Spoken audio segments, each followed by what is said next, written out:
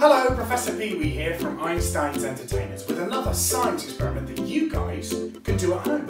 Now today we're going to be having some fun with some magnets. Now you guys are going to need a paper plate, some paints, a safety pin or paper clip, and of course, crucially, a magnet.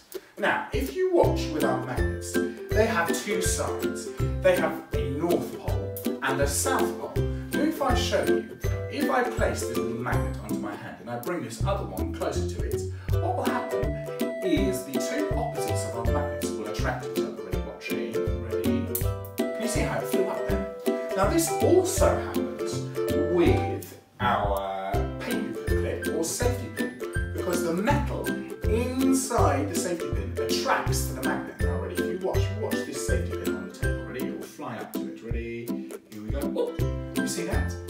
Now using this experiment, what we're going to be doing is we're going to show you guys how you can have some fun making some really cool designs on a plate using the experiment that we've just done. So what you're going to need to do is you're going to need to place your safety pin or paper clip into the middle of the plate and then place your magnet underneath your plate. Now if you watch, when I move it around, we have, we can move it with a magnet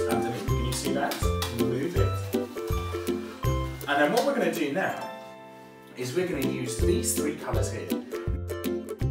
Red, blue and yellow. These colours altogether, does anyone know what these are? These are called the primary colours. And that means that you can make any colour out of these three colours. So what I'm going to do is I'm going to put a little blob of colour onto each part of the plate. Ready? So I'll put the blue down, and then I'm going to put some and then I'm going to put the yellow.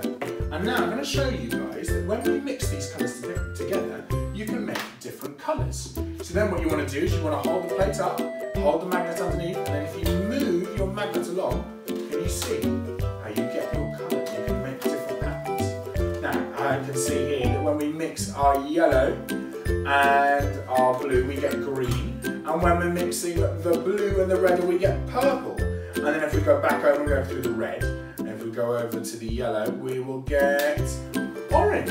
And if you move it really quickly, guys, you can make lots of different patterns.